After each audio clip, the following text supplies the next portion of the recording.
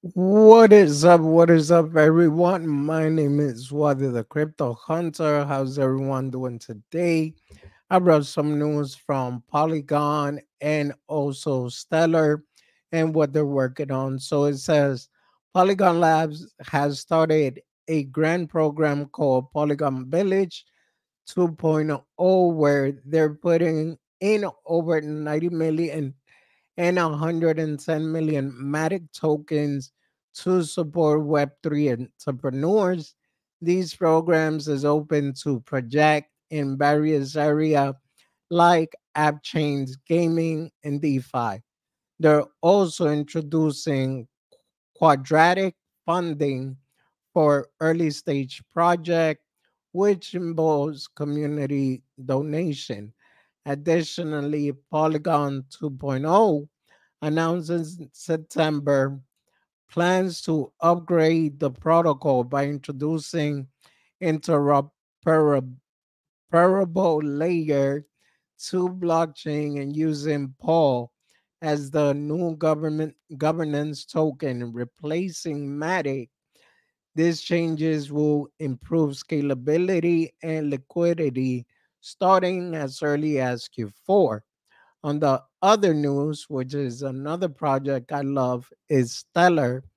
It says decaf built on Stellar Network aims to enhance financial inclusion in Latin America and Africa. Leveraging Stellar efficiency, it facilitates secure and speedy transaction, addressing challenges in traditional banking.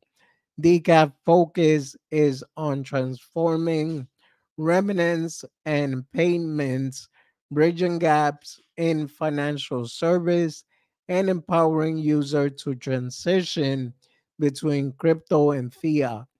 The platform c- collaborates with MoneyGram and Stellar to provide accessible financial service, showcasing the potential of blockchain in emerging markets. Despite challenges like high transfer speed, decaf integration with Stellar, and commitment to affordability demonstrate its impact on financial empowerment. So, obviously, guys, um, in my opinion, Polygon, just like Stellar, is two great project that has a lot of potential, and they are working on real case utility. That is something that you really don't see much in certain cryptocurrency. Now, the way I see it is if the cryptocurrency has an actual use case, an actual utility, then those are the project that should be you should be looking an eye out, keeping an eye on because those are the projects with the most potential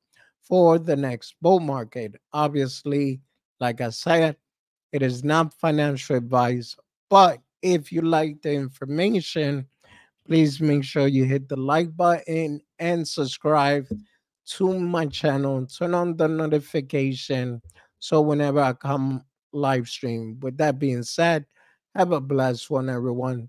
Thank you for watching.